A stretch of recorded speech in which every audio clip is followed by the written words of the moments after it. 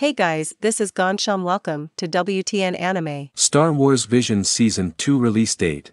When is it coming out?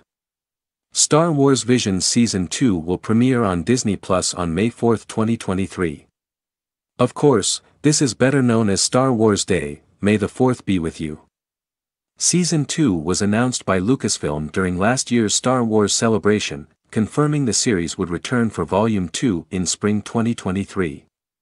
James Waugh, the studio's SVP of franchise content and strategy, said, It's going to be a celebration of the incredible animation happening all around the globe.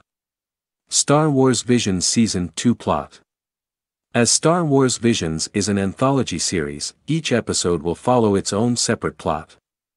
While specifics haven't been revealed, we can expect a broad palette of stories. Hey guys, this is Gansham. Welcome to WTN Anime.